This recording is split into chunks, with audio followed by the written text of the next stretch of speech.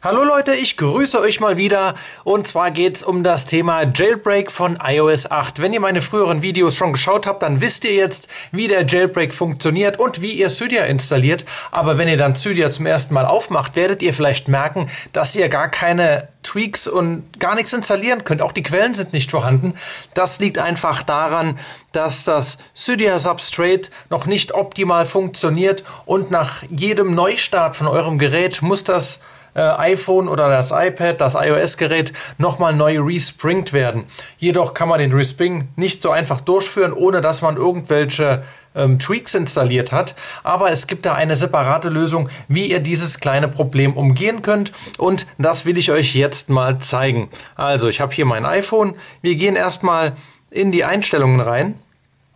Und dort gehen wir in die WLAN-Einstellungen, machen sicher, dass das Gerät mit dem WLAN verbunden ist, gehen dann hier rechts auf das kleine Infosymbol, denn wir brauchen jetzt gleich hier die IP-Adresse.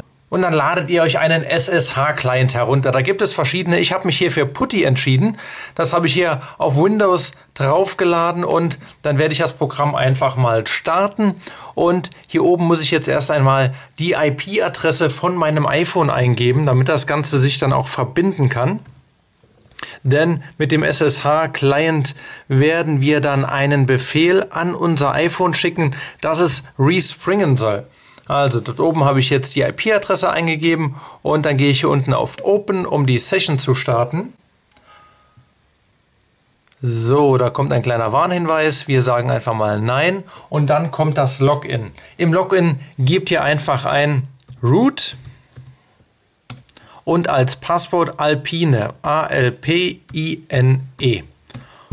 Und schon seht ihr iPhone Root. Jetzt sind wir also quasi mit dem iPhone verbunden.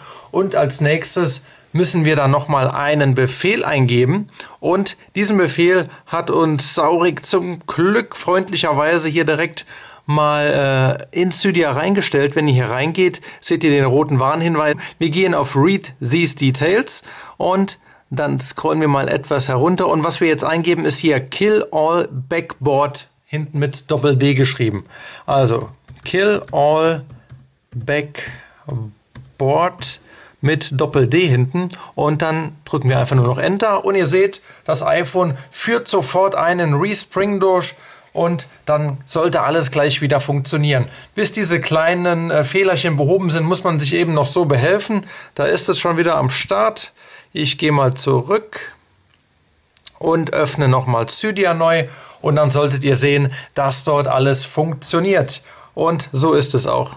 Man sieht, ich kann hier also ganz normal in die ganzen äh, Änderungen reingehen. Ich kann hier auch mir einen zum Beispiel Barrel gleich installieren, wenn es funktioniert. Und so macht ihr dann Cydia erst einmal gangbar. Ich hoffe, die Anleitung war für euch hilfreich, Leute. Wenn ihr den Jailbreak noch nicht gemacht habt, schaut mal hier unten in die Videobeschreibung. Dort habe ich die ganzen Links für euch. Und dann viel Spaß damit und bis zum nächsten Mal. Euer Mi Applecat. Ciao. Okay, Leute, ihr wisst, wie es läuft. Schaut mir jetzt ganz, ganz tief in die Augen. Ihr wollt alles wissen über Smartphone, Tablets und Co. Ihr interessiert euch für iOS, Android und Windows Phone und wollt wissen, wie ein Jailbreak funktioniert, wie ihr eine Root auf Android macht und was man dann mit den ganzen tollen Cydia-Tweaks anstellen kann. Außerdem spielt ihr gerne und schaut euch gerne mal ein Unboxing an. Auch Tutorials und Anleitungen sind für euch interessant. Dann geht jetzt zu YouTube und abonniert Mia Cat. Die Katze hat gesprochen. Mia Cat auch bei Facebook, Twitter und Google Plus und bei www.miapaket.jimdo.com. Wir sehen uns. Round.